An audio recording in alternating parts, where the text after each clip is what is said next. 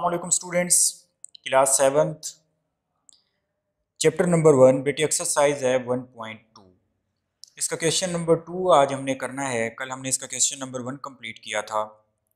Question number two भी same उसी तरीके से है बट एक टर्म का सिर्फ़ जो है डिफरेंस है दोनों के अंदर। उसने कहा स्टेटमेंट आपको दी हुई है find the intersection of the following sets आपको सेट दिए जाएँगे दो या तीन। आपने इनका जो है इंटरसेक्शन फाइंड आउट करना है। तो इंटरसेक्शन कैसे फाइंड आउट किया जाएगा? देखें ज़रा इसका फ़र्स्ट क्वेश्चन देखते हैं। आपको पी की वैल्यू दी हुई है ये और क्यू की वैल्यू दी हुई है ये। आपने P intersection Q find out करना है? पी की वैल्यू पहले है पी की वैल्यू पहले रख दें। इसके बाद इंटरसेक्शन है, यहाँ पे इंटरसेक्शन है तो आप इंटरसेक्शन लगा दें।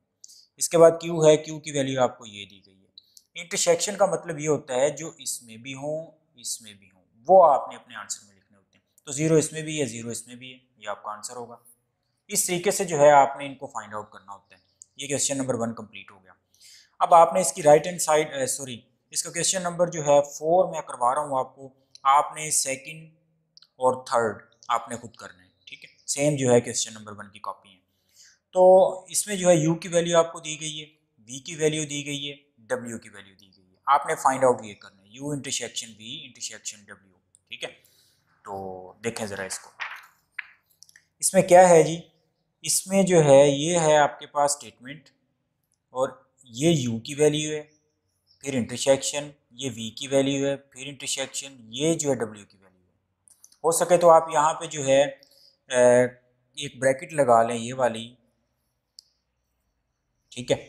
ताकि ये आपको वाजे हो जाए। अब देखें, इन दोनों में पहले देखें क्या कॉमन आ रहा है। कुछ भी कॉमन नहीं आ रहा तो हमारा आंसर आ रहा है खाली सेट बाकी ये वाला इंटरसेक्शन एज इट इज़ और अगली जो वैल्यू लिखी हुई है zero plus minus one plus minus two ये एज इट इज़ अब इन दोनों में से चेक करें क्या कॉमन आ रहा है. इन दोनों में से भी कुछ भी कॉमन नहीं आ रहा. तो हमारा आंसर क्या होगा?